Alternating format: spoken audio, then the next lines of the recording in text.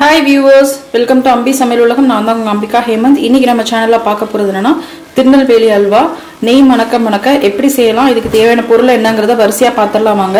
இப்போ தான் இந்த சேனலை பற்றி நோட் பண்ணுறீங்களா ப்ளீஸ் அம்பி சமையல் உலகத்துக்கு சப்ஸ்கிரைப் பண்ணுங்கள் நீங்கள் சப்ஸ்கிரைப் பண்ணும்போது பக்கத்தில் இருக்க பெல் ஐக்கானையும் கிளிக் பண்ணி சேவ் பண்ணுங்கள் அப்போ தான் என்னோட வீடியோஸோட நோட்டிஃபிகேஷன்ஸ் எல்லாமே உங்களுக்கு வந்துக்கிட்டே இருக்கும்.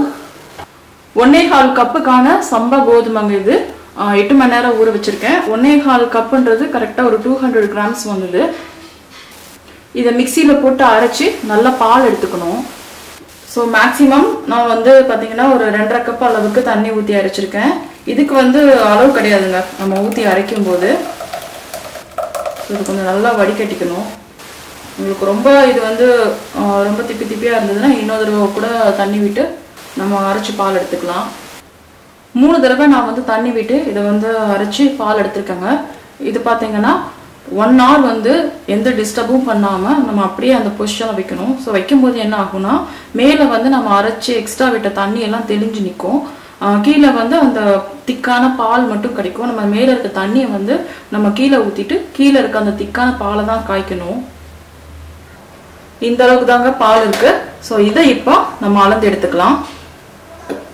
ஏன்னா ஒரு ஃபுல் கிளாஸுக்கு ஒரு கப் அளவுக்கும் மெஷரிங் கப்பில் ஒரு அரை கப்புக்கும் கொஞ்சம் கம்மியாக இருக்கிற மாதிரி இருக்கு. ஸோ இதில் பார்த்தீங்கன்னா இந்த மெஷரிங்க்கு மூணு மடங்கு. அதாவது இது ஒரு மடங்கு ப்ளஸ் மூணு பங்கு வந்து தண்ணி ஊற்றணும் ஏற்கனவே அரை கப் அளவுக்கான மெஷர்மெண்ட்டுக்கு தண்ணி ஊற்றிட்டேன் இப்போ ஒரு கப் அளவுக்கான இந்த மெஷர்மெண்ட்டுக்கு தண்ணி ஊற்றிக்கலாம்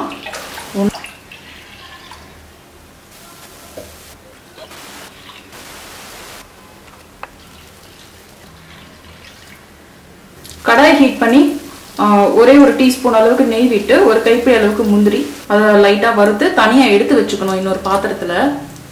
எந்த அளவுக்கு பால் அளந்தோமோ அந்த அளவுக்கே வந்து சுகர் போட்டுக்கணும். நான் இந்த கிளாஸ் கப்பில் ஆக்சுவலி ஒரு கப்பும் மெஷரிங் கப்பில் வந்து ஒரு அரை கப் அளவுக்கு பால் அளந்தேன். ஸோ அதில் வந்து இந்த ஒரு கப் அளவுக்கான சுகரை வந்து ஃபஸ்ட் இதில் போட்டு பால் காய்ச்சிக்க போகிறேன் சக்கரை மூழ்கிற அளவுக்கு கொஞ்சமாக தண்ணி விட்டு இதை வந்து நல்லா கரைச்சி பாகு எடுத்துக்கணுங்க இந்த சீனி பாகு பார்த்தீங்கன்னா ஒரு மாதிரி ஒரு கம்பி ஸ்டேஜ் அதாவது நிற்காது இந்த பிசுக்கு பதம்னு சொல்லுவாங்க. இந்த ஸ்டேஜில் வந்து ஸ்டவ்வோட இன்னொரு பக்கம் இன்னொரு கால் கப் அளவுக்கு சர்க்கரையை வந்து தண்ணி கொஞ்சமாக ஒரு ரெண்டு சொட்டு தண்ணி மட்டும் விட்டு இது கேரமலைஸ் பண்ணணும். அந்த கேரமலைஸ்டான அந்த சர்க்கரையை வந்து நம்ம ஆல்ரெடி முன்னாடி பண்ணி வச்சிருக்கிற அந்த ஜீரா சிரப்பில் ஊற்றி நல்லா வந்து கிளறணுங்க. ஜீரா பொங்கி வர நேரமாக நம்ம கரைச்சி வச்சிருக்கிற கோதுமை பாலை நல்லா ஊற்றி அடிபிடிக்காமல் கிண்டணும்.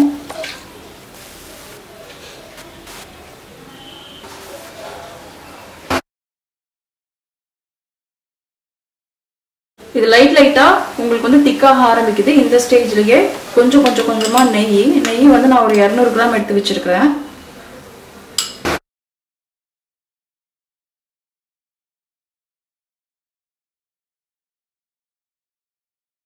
அல்வாவோட கலர் பார்த்தீங்கன்னா உங்களுக்கு ஒரு டார்க் ப்ரௌன் கலரில் வந்துடுச்சு உங்களுக்கு இந்த ஸ்டேஜில் கடைசியாக நம்ம வறுத்து வச்சுருந்தோம் இல்லையா முந்திரி. ஸோ அதையும் போட்டு நல்லா கலந்து விட வேண்டியதான் இப்போ நெய் பார்த்தீங்கன்னா கொஞ்சம் கொஞ்சமாக வெளியே வந்துட்டுருக்கு. உங்களுக்கு பார்த்தா தெரியும். இது ஒரு ஒட்டாமல் நல்ல ஒரு உருண்டு திரண்டு வர அளவுக்கு இருக்குது. ஸோ இதுதான் பதம். இது வந்தோன்னே ஆஃப் பண்ணிடலாம்.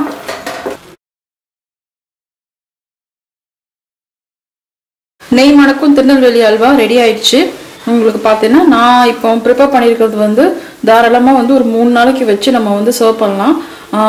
ஃபஸ்ட் டைம் வந்து ட்ரை பண்ணுறவங்க அதே மாதிரி பேச்சுலர்ஸ் எல்லாமே ஹண்ட்ரட் கிராம்ஸ் அளவுக்கு வந்து எடுத்துட்டு கோதுமை எடுத்துட்டு அப்புறமா ட்ரை பண்ணுங்கள் அப்போ தான் உங்களுக்கு ஈஸியாக இருக்கும். இந்த மாதிரி வந்து ஒரு பதத்துக்கு வரத்துக்கு மோர் தென் வந்து ஒன் ஹவர் ஆச்சுங்க. நம்ம ஒன் ஹவராக மெதுவாக கைவிடாமல் கிண்டிக்கிட்டே இருக்கணும்.